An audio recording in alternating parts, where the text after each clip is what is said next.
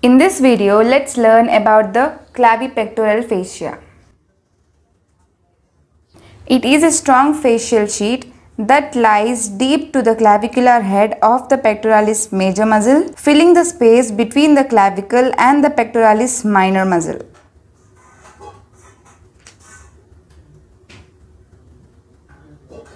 So this is the investing layer of the deep cervical fascia.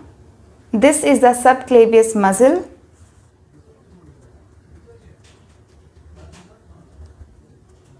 This is the pectoral fascia.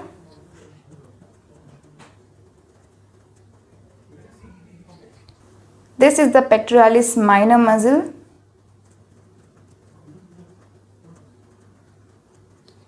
And this is the pectoralis major. So this overall lining is the clavipectoral fascia.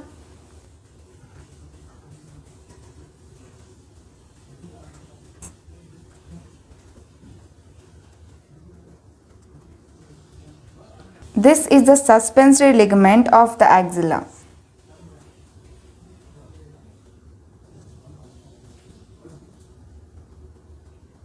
This comes the anterior axillary fold.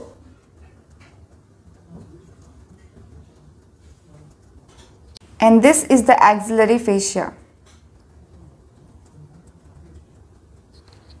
Now let's learn about the extent.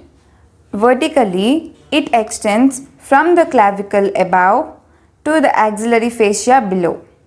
So this is the clavicle bone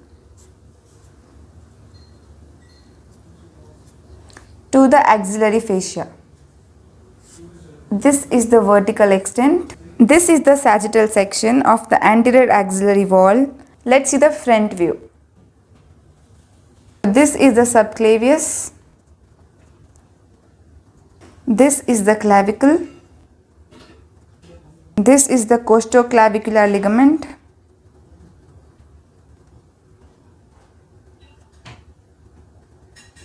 This is the pectoralis minor muscle.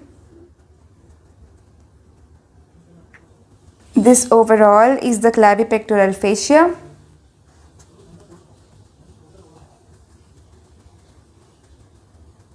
This is the first rib. The short head of the biceps brachii.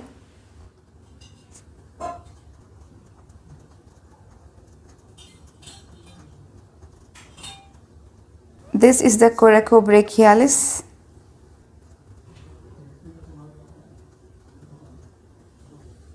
Coracoid process.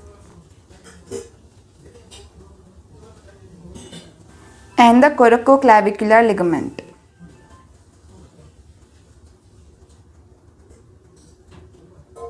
As I said, the vertical expansion is from the clavicle and to the axillary fascia.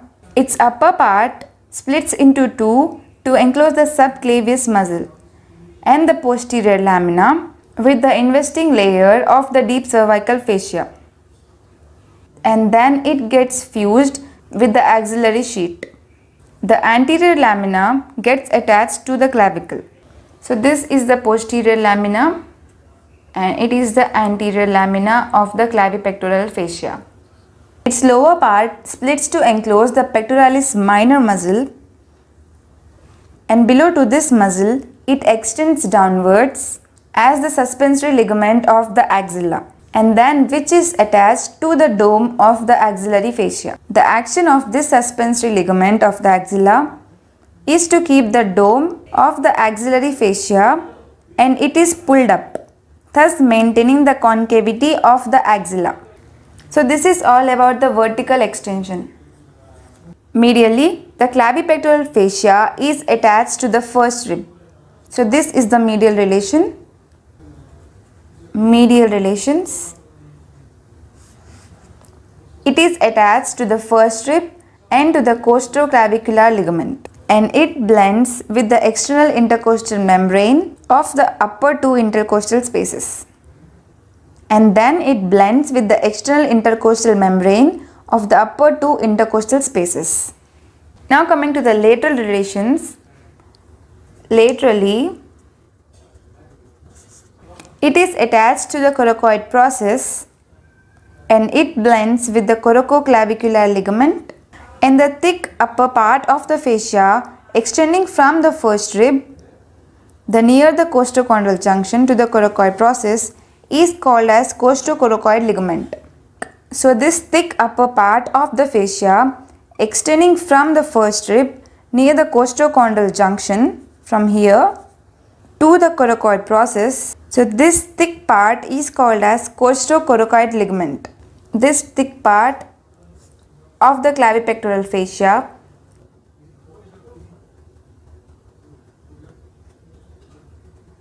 is the costocoracoid ligament. So the points to remember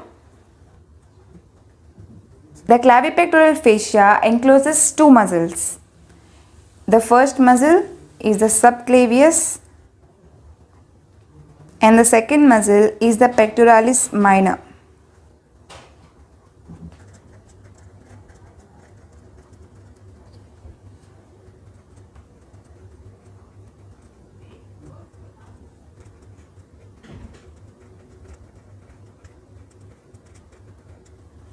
Let's know about the structures piercing the clavipectoral fascia.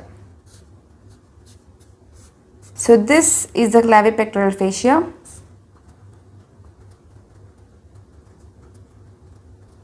It is the axillary vein. This is the axillary artery. And this is the lateral cord of the brachial plexus.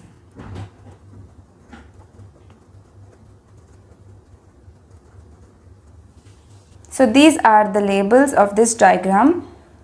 Now let's see the actual structures. Those pierce the fascia. The first one is thoracoacromial artery.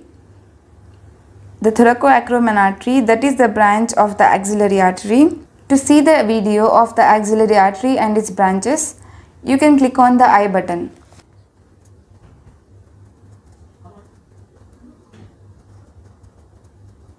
The second structure that pierces this fascia is the cephalic vein. This is the cephalic vein. To know the origin and the course of the cephalic vein, I have made a detailed video of cephalic, basilic and the median cubital vein. You can click on the I button. The third structure that pierces this fascia is the lateral pectoral nerve. So this is the lateral pectoral nerve.